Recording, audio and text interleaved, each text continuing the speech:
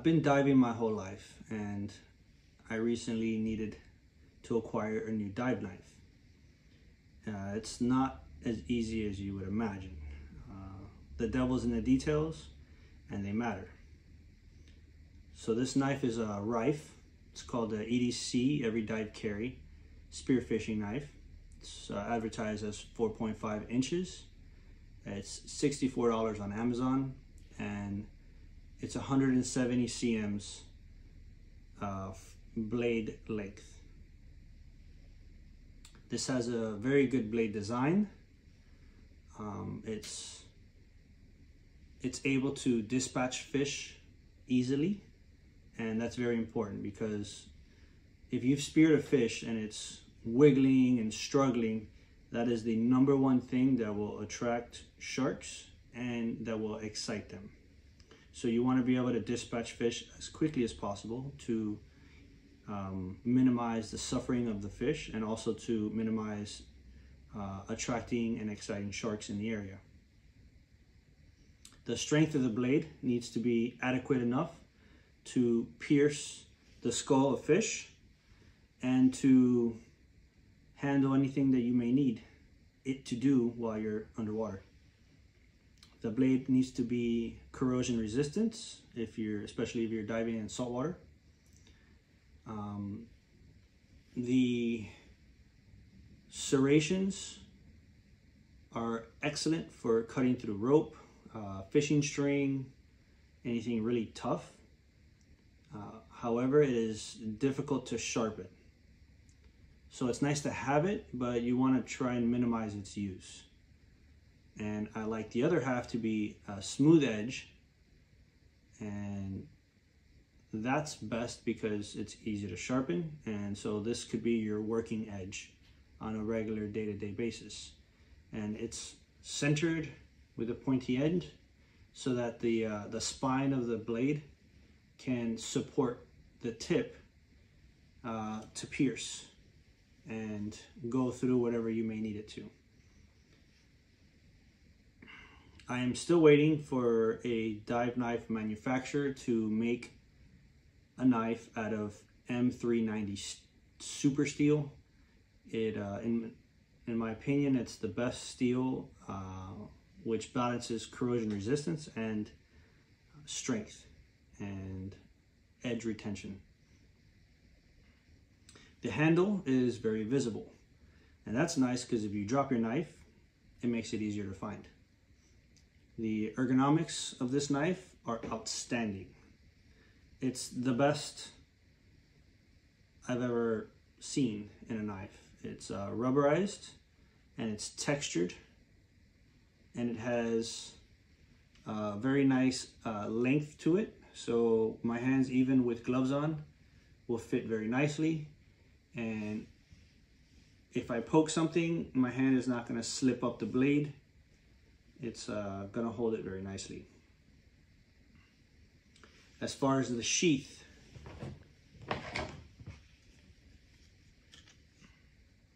the uh, ability for the sheath to retain your knife is very important. I want it to be easy to go in and out, but I want it to stay in the sheath, uh, whether I'm upside down or if I bump on a coral or if it's in my dive bag, I don't want it to shake out and have a pointy knife exposed that somebody might step on or fall on. That could be a very dangerous situation. Um, so I take blade retention abilities very seriously. Uh, this Riffe sheath has these two plastic tabs on the sides and they um, they click in to the handle of the knife and it holds it very well.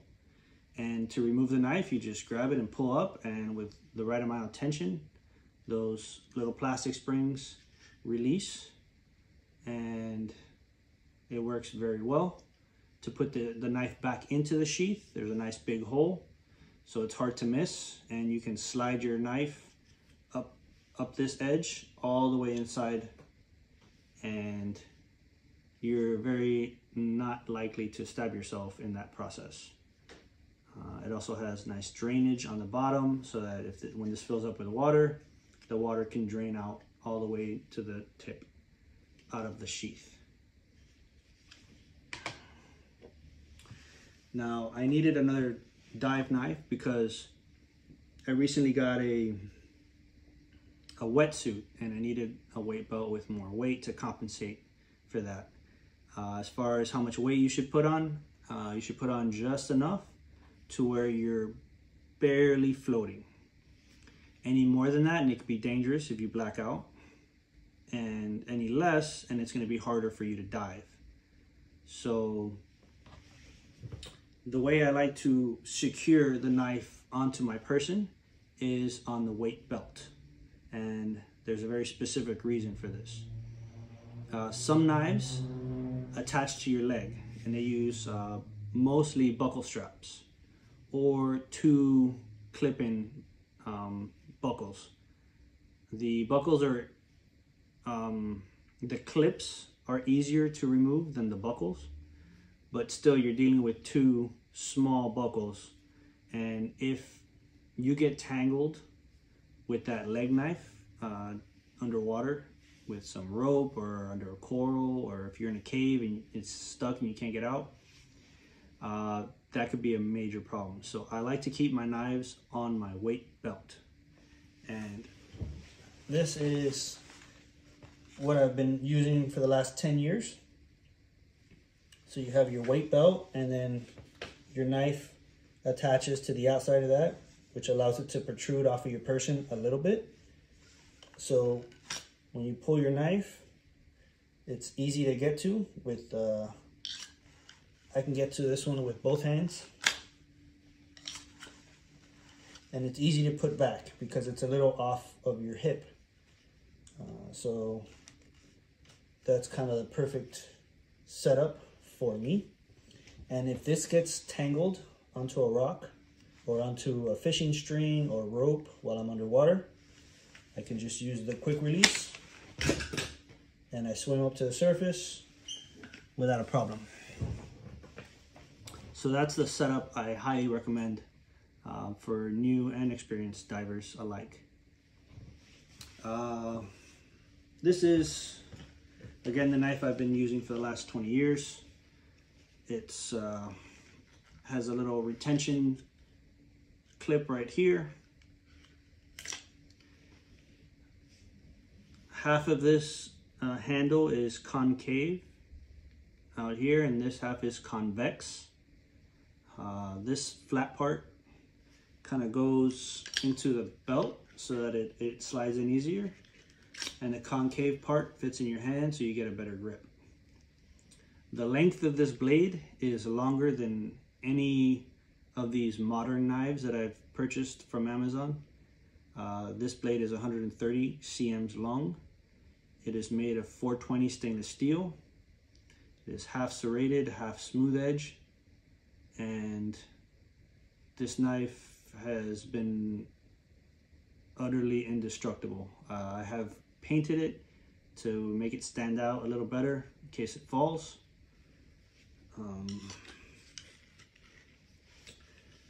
but I've been very happy with that knife made by Omer. Another new offering from Koah is uh, it's called Koah Dive Knife 4.5 inch with magnetic sheath for spearfishing. It's $60. Uh, the blade length is 110 cms uh, it has a very high visibility handle. And it has a magnetic sheath that is used as a retention for your blade. Works pretty good. I love the innovation. Uh, my only problem with it is that um, sometimes when I go to slide the knife in, it'll get caught behind the magnet pad and I'll have to pull it back out and reset and then go in. It's kind of a minor minor detail, but uh, that could cause you to lose your knife if you go to put it in there and you think you're you're secure and uh, you know that can slip out rather easily It has a screw in the back of the sheath to hold the magnetic retention pad. And this screw is mostly recessed, so that's not gonna bother you too much. Uh, it's a very nice knife. Um, the corrosion resistance is decent. Um, not as good as the Riffe, but not too bad. Only uh, only rusting on the uh, exposed bare metal parts. Uh, so I removed all the oil from these knives with uh, Dawn dish soap, then alcohol, and then I put salt water in a little cup and I put six of these knives into the salt water and I left them outside for one day. Uh, this was the corrosion resistant test that I did uh, to see how these knives would hold up. Um, generally speaking, you're gonna oil these knives and you're gonna rinse them off after every dive. But, you know, over the years, sometimes that may not happen and I wanna know how they're gonna hold up in that situation. So that's why I did that test. Um, these are my two favorite knives. Um, but uh, the Riffe with that handle definitely gets the edge. The Koah has what looks to be a nice shape to it, but in your hand, it's very small. So if your hand doesn't fit in this portion of the knife, uh, it's going to feel very awkward. You're not going to get a lot of purchase on the handle. Whereas the Riffe is pretty straight. Uh, not a, it doesn't bulge out as much. So no matter what shape hand you have, how big, how small, you're going to be able to grip this well. And the texture on this is outstanding uh, versus the smooth texture on this knife. Uh, even though it is rubberized, it's not awful but it's not as good as the Riffe.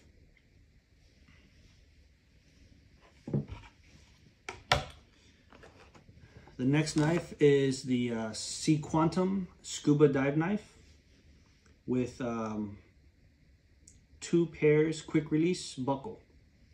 This knife is the best $20 knife on the market in my opinion. The blade length is 87 cms. Um, the sheath uh, seems very well built. It has a nice hole for the buckle or a leg strap and a leg strap. The retention uses uh, plastic springs on the inside. So you squeeze this to, to pull your knife out. The blade has the backbone in the center. However, this knife is very thin. So I think this knife would work amazing for a snapper or anything under 20 pounds should be fine. Anything over 20 pounds, this knife might struggle, might bend. Um, it has half serrations, half smooth edge, which is my preference. And it's a very pointy knife. Very lightweight knife, super low profile, but the handle is surprisingly decent as far as your, your purchase on the knife because of how flat, how wide it is.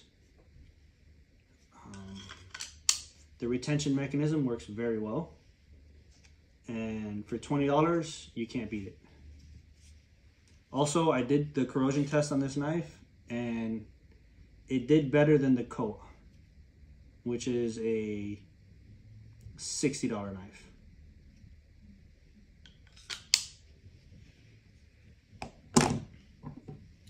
Next up is the Cressi Grip Spear Knife.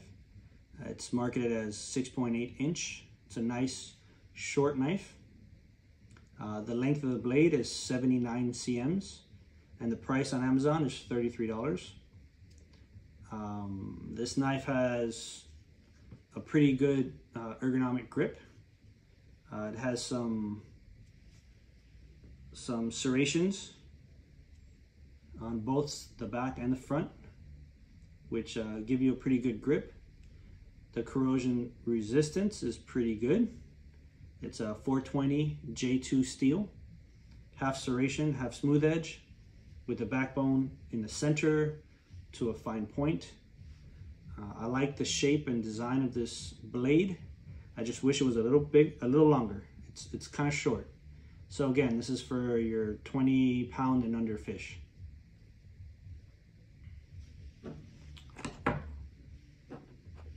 Uh, the next knife is called uh, Spearfishing Low Volume Point Tip Sharp Dive Knife. It's $34 on Amazon. Uh, this knife has multiple, you know, brand names. Uh, very common with, you know, things that come out of China. People just slap their brands on it, but it's all the same knife. So if it looks like this, it's probably the same exact knife. Um, it's it's stated that it's a stainless steel 420 J2, but um, you can see that that corroded pretty significantly in 24 hours of being exposed to the elements with uh, with a little bit of salt water. Um, so that isn't the greatest corrosion resistance, but the handle is very nice, very robust. This is a full tang knife uh, you can see the two screws that secure the blade to the handle. Um, it's very nice gripping and it, it, does have some serrations on both sides which help with the grip. The shape of the blade is very nice with a backbone down the center to a pointy tip, half smooth, half serrated. Um, the sheath has uh, its locking mechanism here with a a plastic tab and that locks into this kind of little groove here. You get a very nice audible and tactile click when it's in and to remove the knife you push down and up. That can be done in one nice easy motion and it holds it in place very well. However, this knife only has slots for leg straps, for thinner leg straps. It doesn't have a slot to hold it on your belt. So that renders this knife useless for my application as a dive knife. Next knife is very popular, uh, especially on YouTube and the internet, uh, being hailed as like an amazing knife. This is the uh, Salvimar Predathor knife. And that's a play on words. The last end is Thor. Um, this is an acid green, but to me looks more like a lime green. Uh, this is $34. The length is short. It's 67 centimeters. This has a belt only attachment the shape of the blade is pretty flat. There's no, there's no backbone ridge on this knife, uh, which lowers its strength significantly. And it does have half serrations, but these serrations are not sharp at all. It's pretty sad and the smooth edge is very nice on the other side. Uh, this blade has rusted significantly with just one day of saltwater exposure. Uh, the handle itself, on visual inspection, looks like it will be very grippy because of these scales. But unfortunately, Salvimar decided to make a very large, flat uh, part of it on the on the part your hands, your palm will touch the most uh, so that they can put their label on it. But that makes the knife very slippery. Um, in addition to being small, if the, if the handle is going to be small, it's got to be super grippy, like the Cressi knife. There's rubbery serrations, serrations where you need it. You need the serrations on the, the forward end and the back end. that's where your hands are gonna squeeze onto it and, and it prevents the knife from sliding up and down. So I would not recommend the Salvimar in its current configuration. The, the sheath is, it does appear to be very robust. It has a plastic tab that holds it in place. Um, but if you slide the, the blade up the sheath, it gets stuck right here. You have to aim for a little slot to get that knife in. But once it's in, it clips well and it's secure. But that's that's more work than I want to do when I'm uh, putting my knife back into the sheath. If you compare that to the Riffe, the Riffe has this smooth edge, so you can track this blade down the smooth edge all the way into the knife without thinking about it.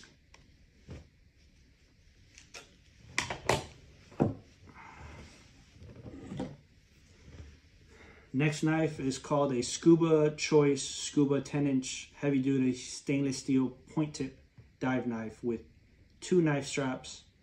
This knife sells for $28. It's 120 cms long on the blade length. Uh, this is a very hefty knife. It has a backbone in the center, but then it kind of curls. A lot of knives do this, and it's common because you get a, a better cutting ability with a curved edge. But that's not what I'm doing with this knife. I'm dispatching fish generally, or I'm cutting rope to save my life. So I don't want a curled tip like that. That's gonna make it harder for me to dispatch fish. The serrations are nice and sharp. It has a line cutter here. This states uh, 403 stainless steel. And it has a metal piece at the base to tap onto your dive tank. And that makes a very distinctive sound to let your fellow dive divers know that you're trying to signal them and that's very effective. The uh, sheath is very thick and of a, you know, kind of a slippery plastic kind of feel to it. Uh, it has a plastic tab with, uh, now it feels like it has springs in there. So that metal spring, I don't know how that's going to hold up with salt water over time. Um, but that clicks in very nicely, good retention. Um, however, this only has two slots for leg straps. It doesn't have a slot for a belt strap. So for my intentions of diving, um, this is not going to work out for me.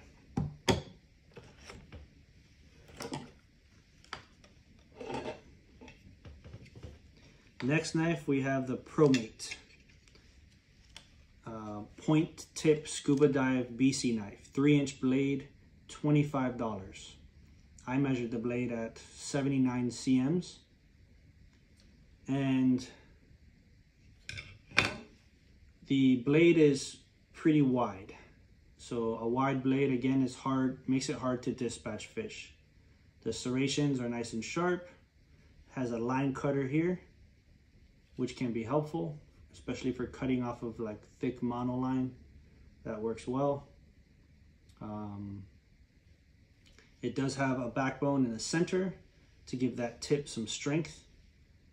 Um, the grip of this handle is very nice. It has a little notch here to put your finger over. Um, generally speaking, when you're diving, spearfishing, you're using gloves. So these kind of features might not work as well with gloves on, but um, without the gloves, they, it feels nice. It has the, uh, the back metal little tab here for the signaling underwater with the scuba tank. The holster has a very nice click into it. Stays in place very nicely. It has two holes for leg straps and it has a large one in the center for a belt. However, these screws are protruding and these screw heads are going to be rubbing onto your hip all day long. That might not be so comfortable. But, um, you know, comfort's kind of a minor thing with when you're talking about a tool to save your life. So it's not a bad knife. Uh, for $25, you could do worse.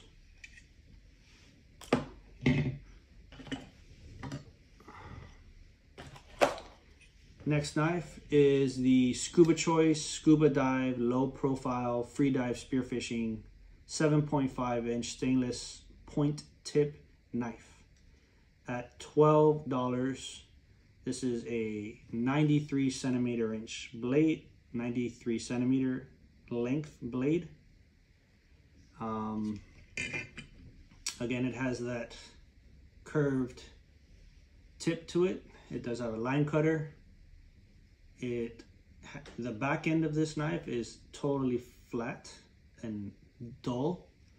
So it only has one side that has serrations and then another side that has the little blade tip there. The handle is very wide and it has these plastic spring tabs to lock the knife in place. Now I don't believe uh, that this knife is a full tang knife. Um, you know, you can tell by the weight is uh, a little blade heavy, uh, you know, blade edge heavy, and it's it's relatively lightweight. So the blade itself feels very robust and thick, but down here in the handle, this feels like very thin plastic, and these tabs go through the handle the whole way. So that means your whole handle has like a millimeter thick of material on both sides of this lower grade plastic so I don't know how long this is gonna last. Uh, the handle. The blade itself seems okay as far as um, thickness and it says uh, stainless steel 420 J2 from Japan. Um, you know for $12 I don't know if I believe that, but that would be uh, impressive if that were true. The uh, sheath locks in very nicely. It has a very nice um, belt slot with uh, recessed screws. So very uh, comfy. Uh, this is not a bad knife. If you have, if all you have is twelve dollars, this might be a very good uh, knife for you. That's available on Amazon.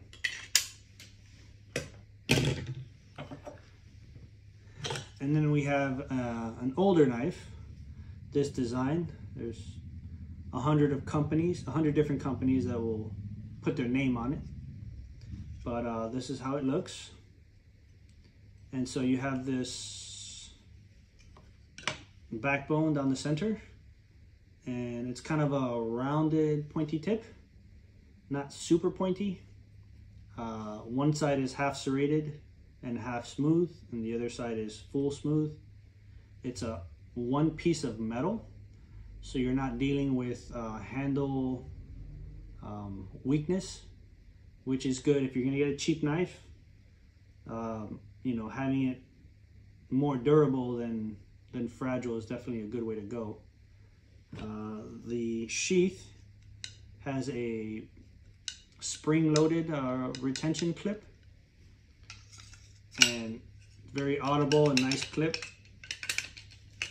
Uh, however, that spring in there is metal and it does rust very quickly, very easily. So you will have a rusty mess um, in your dive equipment if you go with this knife. And it also only has uh, leg strap uh, attachment points and one of them has broken, but you know, I'm kind of rough with my equipment, so don't don't hold it against it for that. but uh, because it doesn't attach to the belt, I don't use this for diving anymore. So that's my uh, complete uh, review of all the uh, dive knives that I found on Amazon that I thought maybe I, were, I was interested in purchasing. And it started off with two, then I got a few more, then I got a few more, and now I ended up with 11 knives. And I figured I'd, I'd do a review to help fellow divers out um, and kind of with my experienced opinion and wanted to share my thoughts on what's out there. And that being said, um, this is the knife I'm gonna stay with and trust my life with. Uh, $65, you know, it's it's not cheap, but uh, I can afford that uh, for for how important of a tool it is and how long I think this knife will last me. Uh, I think that's not a bad that's not a bad uh, trade-off. So you guys make your decisions and if you like this video, just uh, give me a thumbs up. That'll help out. And if you are a knife manufacturer and would like me to review your knife, I can definitely get more into detail and would be happy to do so. Have a good day.